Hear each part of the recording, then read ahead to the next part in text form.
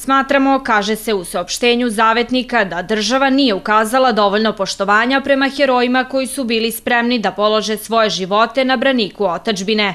Pripadnici Vojske Jugoslavije su bili napadnuti od strane takozvane oslobodilačke Vojske Kosova, koja je bila podržana artiljerijskom paljbom regularne Vojske Albanije i NATO avijacije. Tokom bitke za Košare stradalo je 108 pripadnika Vojske Jugoslavije, a smatra se da ih je bilo više.